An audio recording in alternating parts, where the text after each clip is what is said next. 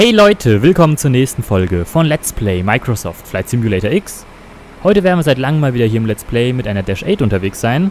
Es haben sich ja viele von euch in letzter Zeit gewünscht, dass wir doch mal wieder mit einer Bombardier Dash 8 Q400 fliegen sollen, weil wir ja wirklich jetzt schon lange nicht mehr damit geflogen sind und da habt ihr echt auf jeden Fall recht gehabt, wir sind ja schon ewig nicht mehr mit dem Flugzeug unterwegs gewesen und da wird es mal wieder Zeit, dass wir mal wieder mit dem schönen Flugzeug, mit der schönen Maschine hier unterwegs sind. Und deswegen werden wir heute mal wieder mit einer Bombardier Dash 8 Q400 fliegen und zwar ist die für den heutigen Flug von der Fluggesellschaft Air Baltic. Und wie ihr seht, trägt diese Maschine auch die neue, aktuelle und recht wunderschöne Lackierung von Air Baltic, die, wie ich ja finde, deutlich moderner und deutlich besser aussieht als die alte Lackierung.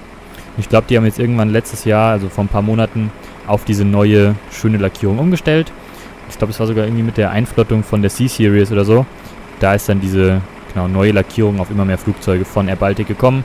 Und genau, die werden das wahrscheinlich immer weiter umlackieren, bis dann irgendwann alle Flugzeuge diese schicke Lackierung hier tragen.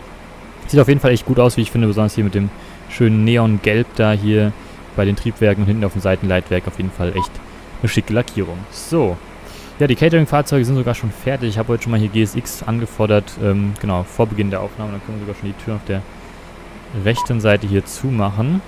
Und dann, genau, komme ich nochmal kurz zur Flugstrecke, die wir heute fliegen werden. Ihr seht es ja auch schon im Titel, aber trotzdem jetzt nochmal hier als Info. Wir werden heute mit der Dash 8 vom, ja, vom großen Flughafen hier in Norddeutschland, vom Flughafen von Hamburg, dem Helmut Schmidt Airport, zur Hauptstadt von Lettland fliegen, zum Flughafen Riga, auch dem Heimatflughafen von Air Baltic. Da haben wir eine Flugzeit von etwa anderthalb Stunden vor uns. Und ich würde sagen, wir warten noch nicht mehr lange mit Vorbereitungen, sondern gehen direkt mal in die Maschine rein und machen die direkt mal startklar für den heutigen Flug. So, und da wären wir auch schon hier im Cockpit, schon echt lang nicht mehr hier gewesen. Also es ist echt krass, wie lange wir mit der Dash 8 nicht mehr geflogen sind. Und genau, das haben sich echt wirklich einige von euch wieder gewünscht, dass wir doch mal damit, wieder, damit mal wieder fliegen. Habt ihr echt recht gehabt. Also wird auf jeden Fall mal wieder Zeit, dass wir mit der schönen Maschine hier mal unterwegs sind wieder. So, ich hoffe mal, dass ich noch alles ganz gut hinbekomme, aber wir sind ja schon öfters damit unterwegs gewesen und ich denke mal, da sollten wir uns wieder ganz gut reinfinden. So, wir legen erstmal los mit dem Power-Up-Flow. Das kommt mir alles noch, doch noch bekannt vor. Nach den Circuit Breakers schaut man erstmal in Sicherung, das passt ja alles hier. Der Gearliefer, der ist down, das Radar ist off. Ich weiß gar nicht, ob ich das sonst immer gecheckt habe, weil das sind ja eigentlich Sachen, die eigentlich eh schon passend eingestellt sind. So, aber jetzt kommen wir direkt mal zur Stromversorgung an Bord und machen hier erstmal die Batterien an. Also Battery Master an, Main Battery an, Auxiliary Battery an und Standby Battery an. So, der Bastai geht auf TIE, die Position Lights direkt mal an. So, die haben wir hier. Und die Flight Deck Displays, die habe ich gleich ausgemacht, die sollten genau schon angehen. Machen gerade den Self-Test, wunderbar. So, Standby PTU Pumps sind check off. Parking Brake ist set. Und wir können die External Power dann mal connecten. So, jetzt muss ich noch mal kurz überlegen, wie das bei dem hier war. Mit dem Anschalten. Genau, der hat hier, glaube ich, einen An-Ausschalter gehabt, genau. Bei jedem Flugzeug hier immer wieder ein bisschen anders, wie man hier an die External Power drankommt. Hier ist es auch wieder hier über den Bordcomputer, aber den muss man hier extra noch anschalten, richtig. So, war bis er hochgefahren ist, genau, der macht jetzt ja auch den ganzen Tests und so weiter. Können wir mal kurz außen gucken. Boarding habe ich auch schon requestet, da sollte dann irgendwann der Bus kommen mit den Passagieren und dann auch halt das Gepäck eingeladen werden. Ich glaube, es sind zwei Wagen an Gepäck, die eingeladen werden. Ist jetzt ja auch nicht so ein Riesenflugzeug, also so viel passt hier auch nicht rein. Fuel haben wir noch äh, gerade noch 100% drin, das werde ich gleich noch anpassen auf die Menge, die wir mitnehmen. Also wir können ruhig ein bisschen weniger mitnehmen. Wir haben ja, äh, ja etwas mehr als 5 Tonnen dabei, so viel brauchen wir nicht. Wir nehmen um die 2,7 mit, also etwas mehr als die Hälfte. So, Accept, Accept sollte auch der aktuelle Air Cycle sein. Und ähm, genau, dann gehen wir hier auf Menu, war das? Oder der, nee, Data ist es, Services und GPU Requests. Dann machen wir mal schnell, damit jetzt dann auch gleich da ist, dass dann auch gleich genau die Batterien nicht mehr so beansprucht werden, sondern wir die External Power anmachen können. So, AC, DC, External Power sollten on sein. Genau, da haben wir es. Wunderbar. Da steht's. So, kurz noch als Information vielleicht. Ich verwende jetzt hier für den Flughafen Hamburg nicht mehr das Add-on von Aerosoft, sondern ein neueres, aktuelleres Add-on, und zwar von JustSim. Und äh, das Add-on für den Flughafen Riga kommt ebenfalls von JustSim und die haben ja auch beide Add-ons hier für diesen Flug, für das Let's Play hier zur Verfügung gestellt. Dafür auch ein vielen Dank nochmal an der Stelle an die Entwickler. So, nur damit ihr halt auch Bescheid wisst, genau, dass ich die Add-ons hier so zur Verfügung gestellt bekommen habe. Sage ich ja immer, wenn das halt bei den Add-ons so der Fall ist, wenn sie mir halt nicht selber gekauft habe, sondern ich sie so bekommen habe. So, dann machen wir mal hier die Sidewinds auf Open und DC Generators 1 und 2 gehen schon mal auf On. So. Also Triebwerksgeneratoren bringen mir mit ja noch nichts, aber dann für später. So, Fasten Seatbelt Switches gehen auf On. Ich muss mal gucken, wo die sind. Da und No Smoking auch auf On. So, Bleed Flow Control geht auf Minimum. Die Packs gehen auf Auto. Recirculation auf On. Haben wir hier. So, genau, ich habe ja hier mir alles in, der, in den Flows nur markiert, was wir nur machen müssen. Dass wir halt jetzt nicht ewig lang hier brauchen, sondern nur die wichtigsten Sachen machen. So, der Enhanced Ground Proximity Warning Switch geht an. Na, guck mal, dafür, dass wir echt, ich weiß nicht, wie lange wir schon nicht mehr mit dem Flieger geflogen sind, das ist krass. Schon ewig, weil ich weiß gar nicht mehr, was der letzte Flug damit war. Kann sein, dass es ein Flug nach Innsbruck war oder so? Das wie in Innsbruck, aber das ist auch schon ewig her. Genau. So, Control Log engagen wir mal. Und. Ach, da kommt jetzt die Eingabe vom Flugplan, okay. So, was wir noch eingeben können, sind die V-Speeds. Mal V1. Das ist eigentlich immer derselbe, dieselben Speeds. Ich habe mir einfach irgendwann mal hier einen Speed rausgeschrieben, die eigentlich auch gut gepasst haben. Damals habe ich, glaube ich, bei der Maschine auch noch nie mit äh, Gewichtanpassung gearbeitet. Wir sind immer hier früher mit der mit fast 100% Tankfüllung geflogen. Und eigentlich gibt es dann hier extra, extra bei dem Addon so Charts dabei, wo man so nachgucken kann, welche Speed wann passen. Aber egal, wir nehmen jetzt einfach mal die. Ich glaube, die habe ich damals aus dem Tutorial oder so. Aber das sind schon ganz angepasst, weil gut, so viel Variation ist da wahrscheinlich eh nicht am Ende. So. Genau, dann können wir eigentlich jetzt direkt zur Eingabe vom Flugplan kommen. Oder machen wir noch die Aircraft Power-Up Checklist. So, Circuit Breakers sind checked, Landing Gear ist down, Radar ist off, Battery Master, oh, das nur Terrain Radar ist halt gerade an, aber nicht das Radar, zumindest das Weiterradar ja gemeint. Battery Master, Main Auxiliary und Standby Battery sind on, Main Bus ist auf Tie, Exterior Lights sind set, die Position Lights sind on, Flight Deck Displays sind on, Standby PDU Pumps sind off, Parking Brake ist set, External Power ist on, FMS ist initialized und wir geben jetzt mal den Flugplan ein. So, wir fliegen heute übrigens gegen Abend. Ich weiß gar nicht, wo wir denn die Uhr? Die müsste doch irgendwo hier sein. Da oben. Aber die geht. Ist so dunkel, ne? Das müsste. Ist das die aktuelle Zeit? Haben wir jetzt echt genau 18 UTC? Ich hätte nämlich irgendwas 17 Uhr irgendwas eingestellt, dann ist jetzt genau 18 Uhr oder was? Oh, die ist aber echt dunkel. Kann man fast gar nicht erkennen. Ähm, genau, auf jeden Fall fliegen wir heute abends, also werden dann bei Dämmerung, bei Sonnenuntergang dann in Riga, wenn alles nach Plan läuft, ankommen. So. Dann gehen wir mal zum Flugplan. Das sollten wir aber auch noch hinkriegen. Also es geht los in Echo Delta Delta Hotel in Hamburg. So. Und dann, glaube ich, erstmal direkt den Zielflughafen eingeben. Echo Victor Romeo Alpha.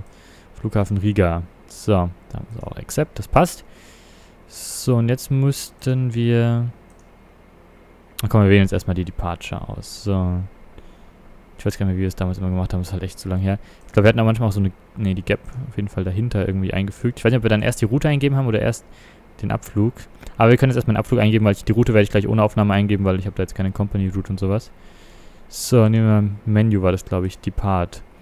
Wir fliegen ab Richtung Süden, also auf der 1.5 geht's raus. Passt bei dem Wind ganz gut.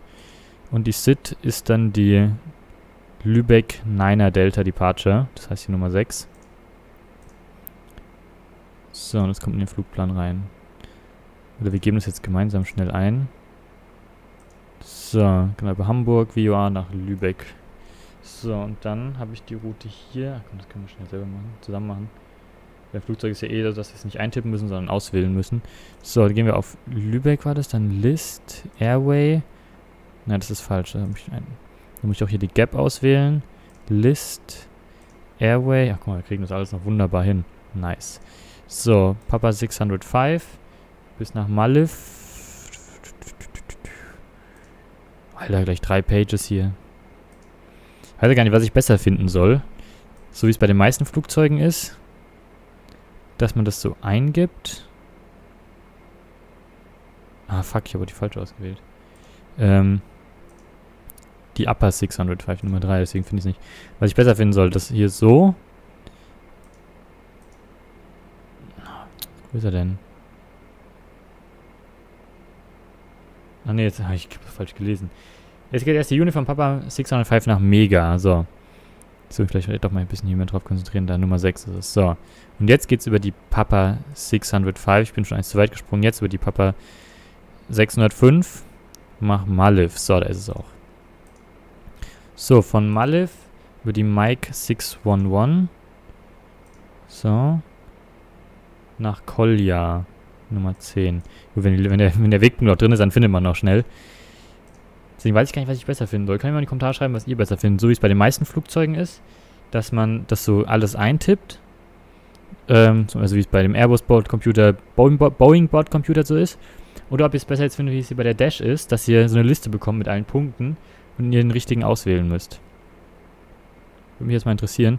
Ich kann, selber kann mich eigentlich auch nicht wirklich entscheiden. Ich finde, auf der einen Seite ist natürlich das Coole hier, äh, man sieht einfach die Punkte, gibt einfach die Zahl ein und fertig. Beim anderen ist halt so, äh, kannst halt einfach schnell den Punkt eingeben. Du weißt ja, wie er heißt, dann gibst du einen ein. Und so musst du halt erstmal aus einer Liste raussuchen. Bei den Luftstraßen ist es noch recht wenige, da sind, sieht man die ja schnell. Wenn es jetzt eine richtig lange Liste mit Punkten ist, kann es halt schon mal nervig werden und dauern. Aber ja, ich glaube, wir sind jetzt bei keinem mal wirklich viel schneller. Außer ich wähle halt irgendeine falsche Luftstraße aus. Das ist dann das Problem. Dann suche ich ewig den Wegpunkt. Das ist natürlich ein Problem. So, Arrival können wir später auswählen. werden auf der 1.8 voraussichtlich dort landen aufgrund des Windes. Kommt nämlich aus Süden. So, dann sind wir nämlich hier auch schon fertig. Wunderbar.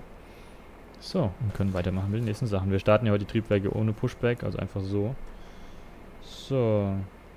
Gucken wir außen. Ich weiß gar nicht, Boarding hatte ich doch eigentlich requested. Steht aber noch Catering Vehicles on their way, die sind doch schon längst weg. Ach komm, machen wir Reset Position halt heute ohne GSX hier, wenn es nicht ganz so klappt. Catering Vehicles waren doch schon da, haben wir doch gesehen vorhin. Machen wir mal hier hinten die Türen zu, so. Und genau, dann machen wir mal ARCDU auf On. So. Das FMS. Dann das auf Wetterradar auf Test. Und die Radios sind Set. Genau. Das geht auch noch auf FMS. So. Kommen wir zum Engine Start Flow. Dann machen wir schon mal die Türen zu. Genau, wir sind ja schon soweit. So, Battery Master, Main Auxiliary Standby Batteries sind on. Beacon geht auf on. Das können wir jetzt mal ansagen, genau, hört er. So, Red Anti-Collision Light. Die APU Bleed Air.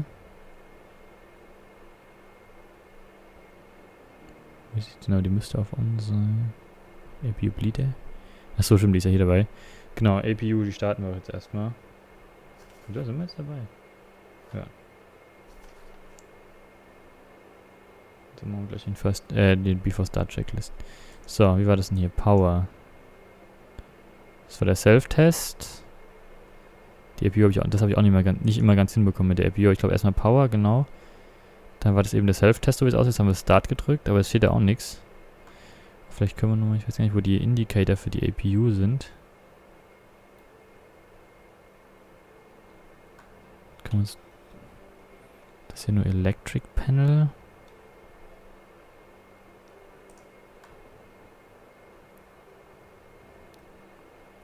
Engine Systems. Achso, eine Fuel müssen wir noch anpassen. Bei der steht auch nichts. Aber der Electric System. Gucken wir, ob sich was getan hat. Also auf jeden Fall leuchtet ja was auf. Ah, und jetzt nochmal auf Power drücken. Das heißt erst auf Start und dann auf... Nee. Hören wir mal außen, ob sich was tut. Ja, doch, fährt hoch. Wunderbar. So, ich gehe mal kurz ins FSX-Menü und ändere mal den Fuel. Treibstoff Nutzlast. Das seht ihr jetzt wahrscheinlich erstmal ein Standbild. Ähm, ich mache mal 50% in beide Tanks rein. Das sollte dann ungefähr passen. Wir mal, wie viel wir dann haben. Jetzt haben wir genau 50%. Das sind zusammen ungefähr 2,7. Ja, das sollte ungefähr hinhauen. Ist dann, ja, knapp das, was wir brauchen. So. Hui, gewittert jetzt hier auf einmal in der Nähe, oder was? Was war das gerade? So. APU läuft, wunderbar. Da hinten geht die Sonne schon so weit langsam unter. Jetzt kommt jetzt auch gerade wieder diese, diese Musik da. So, Generator. Bleed er. Machen wir mal an. So, und dann kommen wir eigentlich zum Engine Start. So, machen davor aber noch die Before Start Checklist. So. Ach, was mache ich denn? Ich bin doch blöd. Ich bin so gewöhnt, die APU hochzufahren, weil wir ja beim Pushback, für Pushback Start die brauchen. Aber hier brauchen wir das ja nicht. Ach komm, jetzt haben wir sie an, jetzt machen wir die External Power halt schon mal weg. Wie unnötig, brauchen wir doch gar nicht. Wir können ja über die External Power starten. Wobei wir dann aber eigentlich natürlich External... Da müssen wir doch eigentlich auch... Wenn ich da richtig... Wenn ich wenn es richtig weiß, bräuchte man ja dann... Also wir haben es immer über die External Power gestartet, das war hier kein Problem. Aber ich weiß nicht, bräuchte man... Also schreibt es mal in die Kommentare, wenn ihr euch da auskennt. Aber bräuchte man denn echt nicht noch die External Air oder irgendwie sowas? Weil man ja erstmal Druckluft braucht für die Triebwerke starten, oder ist das jetzt hier anders? Weiß ich gerade gar nicht, also ich denke, dachte eigentlich schon. Na gut, so, ähm... Wir gehen also hier wieder auf Data, Services und die kann weg. So, und dann starten wir mal gleich. Also APU ist on und die Voltage ist checked. Da seht ihr jetzt der AP Generator Load hier. So.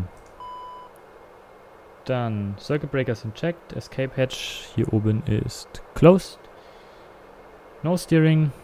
Kann ruhig anbleiben. Ich weiß gar nicht, wie ist aktuell eingestellt. Das kann ruhig anbleiben, wir haben ja kein Pushback-Fahrzeug. Flight Guidance Control Panel ist set. Fuel Quantity ist checked. Wir haben 2600 Kilograms on board. 2,6 Tonnen ungefähr. Hydraulic Tree Pressure ist checked.